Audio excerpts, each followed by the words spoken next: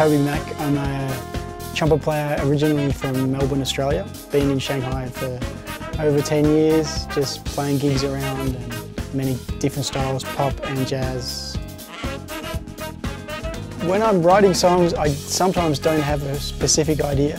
My music to be very creative, so it's, it's everyday things.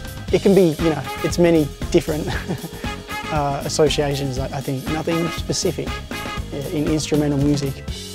It's more like whatever you can imagine, really. I'm so lucky to be able to, you know, live as a professional musician, just playing trumpet, and and to be able to, you know, make music with great musicians, and, and I, I just want to keep, you know, writing music and getting better. I think that's the main thing for me is just improve my trumpet playing and improve my compositional process.